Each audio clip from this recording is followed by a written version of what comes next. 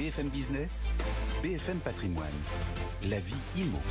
Bonjour Marie-Cœur de Roy. Bonjour Cédric Ce matin, on accueille Stéphane Descartier, le PDG de la Maison de l'Investisseur. Bonjour Stéphane. Bonjour Cédric, bonjour Marie, Salut bonjour Stéphane. à tous. Vous aviez envie ce matin de nous parler du HCSF.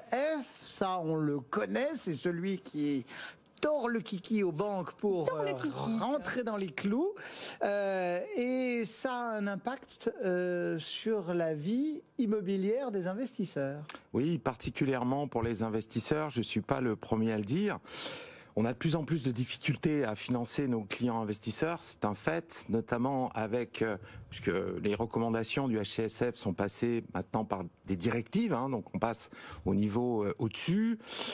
Et les conditions de financement, effectivement, des investisseurs sont particulièrement pénalisées, notamment avec la suppression de la notion de reste à vivre, euh, qui permettait bah, notamment de financer des, des coupes de cadres qui étaient déjà dans de bonnes, euh, dans de bonnes notions de revenus, mais qui démarraient avec notamment l'achat d'une résidence principale. On pouvait, avant euh, ces directives, encore les financer sur de locatif. Aujourd'hui, c'est terminé. Le problème, c'est le taux d'endettement, c'est ça Stéphane? Oui, tout à fait. C'est le taux d'endettement et cette notion de reste à vivre voilà, qui nous, euh, qui permettait aux banques de prendre leurs risques, hein, entre guillemets, en disant bon bah voilà, ce couple il leur reste 4000 euros, 5000 euros pour pouvoir vivre, etc. Ben aujourd'hui c'est terminé. Si vous avez déjà un endettement assez fort de l'ordre de 30 ou 32% 33 avec votre résidence principale, c'est fini. On pouvait le faire dans le passé avec la notion de reste à vivre.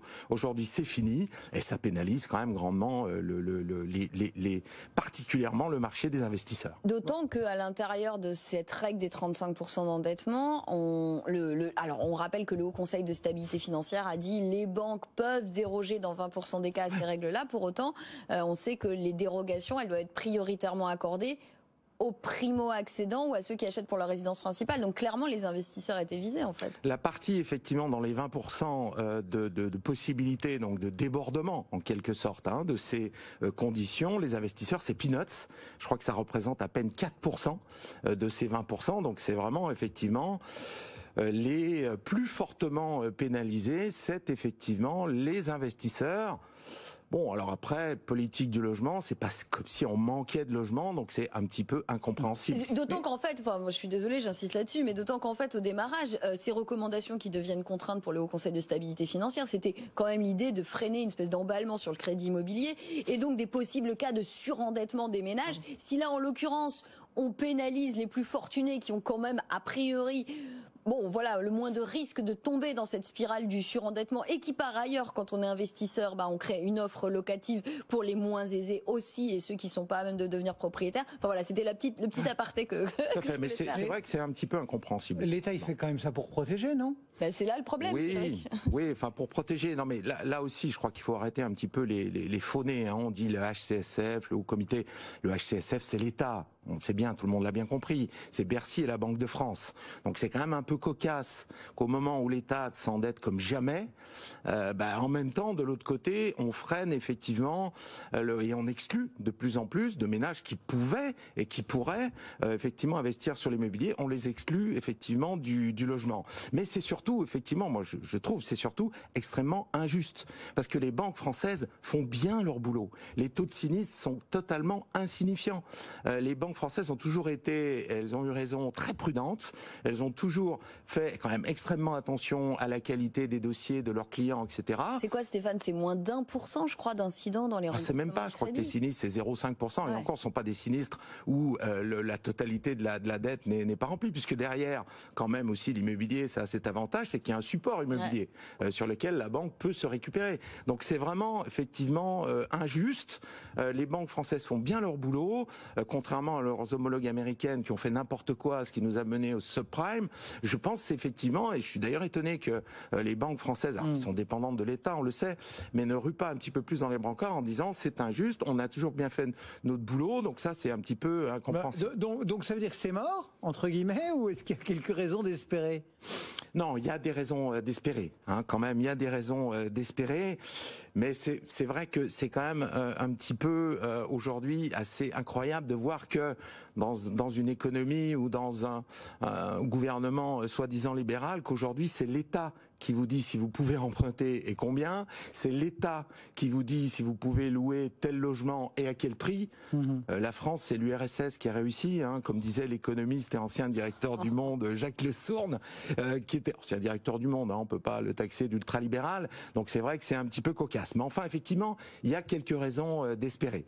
Euh, c'est euh, Maël Bernier de Meilleur Taux qui disait l'autre jour sur votre plateau que il y a quelques banques, et on l'a remarqué nous aussi, de plus en plus de banques qui ont remonté déjà la cote-part retenue des loyers. Puisque vous savez, les banques prenaient, euh, pondéraient les loyers des opérations locatifs autour de 70%.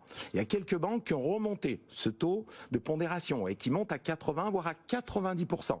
Ce qui est plutôt dans la logique, puisque les gens globalement payent leur loyer, donc 90%, euh, là aussi sur les loyers, il y a un taux de sinistre extrêmement faible. Donc 90% déjà, ça donne un petit peu d'air aux clients investisseurs, puisqu'on considère qu'ils vont rentrer plus de loyers que les 70% qui étaient d'abord retenus.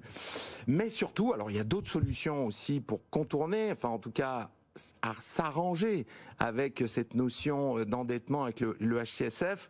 Il y a deux pistes et d'abord un appel que je voudrais lancer aussi à nos amis euh, banquiers. On a beaucoup de banquiers qui nous disent Comprenez, on n'a plus de marge sur les crédits immobiliers. Nos marges sont vraiment rikiki. Hein, quand on enfin, prête coup, à, à même pas du côté 1%, de- de etc. sur prêt, 20 quoi, ans euh. ou sur 25 ans. Les banquiers nous disent on a très peu de marge, donc on veut du risque zéro. Et je dis aujourd'hui aux banquiers, s'il vous plaît, mesdames et messieurs les banquiers, augmentez les taux. Augmentez les taux. Vous avez trouvé ça incroyable. Je trouve, je trouve moi-même incroyable de vous dire ça aujourd'hui. Mais on s'en fout des taux pour le, le- le client investisseur. C'est pas le problème. Ouais, enfin, il y a les primo-accédants derrière quand Oui, même. alors je parle bien de l'investisseur immobilier. Pourquoi? Parce que vous le savez, Marie, en investissement locatif, les intérêts d'emprunt sont déductibles. Donc en, en réalité, quand on emprunte à 2%, ça peut ne coûter même pas 1%. Donc c'est pas le problème, euh, les taux. Et je dis aux banquiers, arrêtez de prêter à moins de 1% aux investisseurs sur 20 ans. Ça ne sert à rien. Euh, à 2%, ça se vendrait pareil. Donc reconstituez vos marges et si on peut imaginer que si les banquiers reconstituent leurs marges au moins sur les clients investisseurs, ils seront pourront être amenés à augmenter la part dans les fameux 20% euh, de débordements qu'ils peuvent euh, effectuer sur les recommandations HCSF. Si sur les clients investisseurs, ils ont une marge plus importante, bah peut-être qu'ils iront plus facilement parce que dans les faits, 100 000 euros sur 20 ans à 1%, je faisais le calcul tout à l'heure, vous remboursez 490 euros. C'est même 100 000 euros sur 20 ans à 2%, c'est-à-dire au double, vous remboursez 534 euros. Ouais, alors, C'est peanuts. Ouais, alors, c'est peanuts et déductible. Ouais, mais alors juste, moi j'ai un sujet aussi là. euh, Est-ce que ça va pas en contradiction avec l'idée aussi de l'endettement maximal? C'est-à-dire s'ils augmentent les taux, bah, l'endettement sera plus élevé encore pour Oui, tout à fait. Mais justement, ils pourront, s'ils font plus de marge, si nos amis banquiers font plus de marge, ils pourront peut-être même plus d'investisseurs dans ces fameux 20%. Sachant qu'ils sont quand même, ils sont quand même limités, hein, parce que euh, ils doivent sur les 80, pour, enfin sur les 20 Oui. de dérogation possible, 80% doit être réservé à euh, soit la primo-accession, soit l'accession à la propriété pour la résidence Mmh, principale. Donc quoi qu'il arrive, ils iront jamais bien plus loin que 20 sur les 20% Tout à fait. Nous sommes bien D'accord. d'accord. Mais ils y sont pas. Oui, bien sûr. sont Oui, pas. oui, bien sûr. Donc, ça il y a laisse un petit, un une petit- petite petite marge. Il y a ouais. peut-être une petite marge. Est-ce que est-ce qu'on est-ce qu'on peut pas fouiller non plus du côté des sociétés? Parce que j'ai envie de vous dire, on peut emprunter euh, ça. son nom. Mais si on se cache, c'est pas, enfin le mot est mauvais, mais si on Oui. se cache derrière une SCI, Tout à fait. C'est Là, ça. c'est les courtiers, ils commencent à nous en parler. Tout à hein, fait. C'est hein, là, c'est là, effectivement, peut-être les pistes qui sont à creuser et euh, notamment au travers de SCI. Alors, il y a aussi un problème. Il y a aussi un problème. Si on augmente les taux, il y a le problème du taux d'usure. Hein, ça Eh oui. que- voilà, parce que Le taux si, minimal auquel les banques si on accorde des financements à des investisseurs à 2,20, 2,30 plus l'assurance, etc., on va se dire taux d'usure. Mais taux d'usure, là j'ai aussi une bonne nouvelle et qui est très récente parce qu'il y a une jurisprudence qui, qui vient de tomber là, qui est de, du 8 septembre 2021, un arrêt de la Cour de cassation, qui nous dit clairement, c'était déjà un petit peu, euh, le, le- le- il y avait déjà eu effectivement quelques jugements, mais là c'est la Cour de casse, ça, ça aura valeur certainement a priori de jurisprudence. Les SCI puisque ce sont des sociétés, si leur objet social est bien le développement de patrimoine immobilier, etc., on considère que ce sont des professionnels, on considère que c'est une société, donc on n'est pas concerné par le taux d'usure.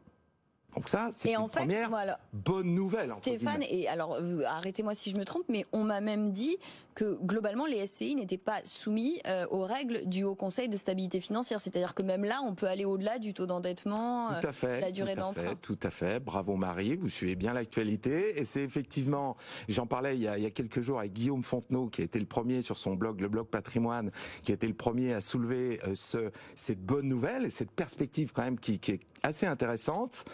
Le HCSF est là pour protéger les particuliers, mais si effectivement on investit en loueur en meublé professionnel, en SCI à l'IS, voire en SRL de famille, certains considèrent même, là c'est peut-être un petit peu plus compliqué, mais certains considèrent même que en meublé en général, parce qu'on est sur une activité BIC, bénéfices industriels et commerciaux. On sort un petit peu du particulier. Mais en tout cas, ce qui est à peu près sûr, c'est en loueur en meublé professionnel, en SCI à l'IS et en SRL de famille, vous payez des cotisations sociales, vous êtes une société, c'est une société effectivement, euh, voilà, vous cotisez, vous payez des cotisations sociales, donc là, vous n'êtes pas, a priori, on attend des confirmations, mais a priori, vous n'êtes pas concerné par le HCSF. Bon. Donc ça, ça peut être une sacrée, très bonne nouvelle. Pour, pour un investisseur, oui. Pour une Oui. résidence principale. Ah non, ça marche pas. C'est mort, oui. Pour une résidence principale, ça marche pas. Mais pour un investisseur, les investisseurs étant particulièrement touchés, particulièrement effectivement sacrifiés. Mais les hein, banques le sur, savent, euh, ça, Stéphane, ou alors c'est à, nous, particuliers, investisseurs, euh, de dire à la banque. euh, Alors, Alors là, vous me dites que c'est compliqué, mais si, mais machin. Alors, certaines banques commencent à dire oui, c'est vrai, pourquoi pas. Elles sont un peu prudentes encore. Elles attendent peut-être. euh, J'ai cru comprendre que certaines avaient commencé à attirer l'attention et demander l'autorisation entre guillemets du HCSF. Est-ce qu'on les compte, est-ce qu'on les compte pas? Mais a priori, dans les faits, effectivement, sur euh, les données du HCSF, euh, on ne serait pas concerné puisque là, on serait effectivement sur des prêts professionnels, donc Mhm. prêts professionnels, bah voilà, on échappe au, euh, à la protection qui va effectivement assez loin pour le particulier. Alors attention, juste une chose, prêts professionnels, ils sont plus chers que les prêts accordés aux particuliers pour l'immobilier et ils sont plus courts. Hein, notamment, c'est difficile en prêt professionnel d'aller au-delà de 15 ans. Ah ouais. Hein, ouais, donc attention, c'est un petit peu le pendant de l'affaire, mais enfin sur une bonne opération à 15 ans, euh, pour quelqu'un qui a 50 ans, ça peut être tout à fait Hmm. euh, pertinent, etc. Donc pourquoi pas Stéphane Descartiers, merci Stéphane pour la Maison plaisir. de l'Investisseur. Merci Marie, on se retrouve demain. À demain. Le club IMO demain avec Sylvain Lévy-Valenzy et pour Challenge Eric Tréguier. Rendez-vous 10h15 demain matin. Le CAC, lui, euh, grignote toujours un petit peu de terrain, plus 0,2%, 7145 points. Qu'en disent nos traders On aperçoit Jean-Louis Cussac et Romain Dobril nous attendent et on les retrouve dans un instant. BFM Patrimoine, l'émission 100% placement sur BFM Business.